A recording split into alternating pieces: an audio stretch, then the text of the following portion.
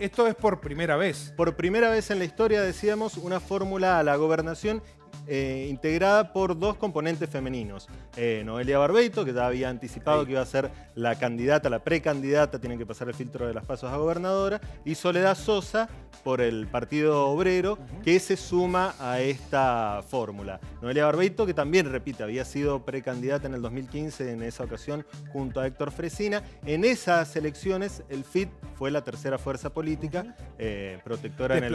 Luego en el año 2017 en manos de protectora. Eh, hemos visto a todos los eh, candidatos o precandidatos a vicegobernador. ¿Y qué decimos de Soledad Sosa? Soledad Sosa que tuvo un mandato cumplido en, la, en el Congreso de la Nación como diputada, tampoco está en la provincia, nos envió un video, ella se rectifica y la fuerza del Frente de Izquierda como los frente, el frente que defiende a los trabajadores, a los jóvenes, y a las mujeres en sus luchas particulares. A ver.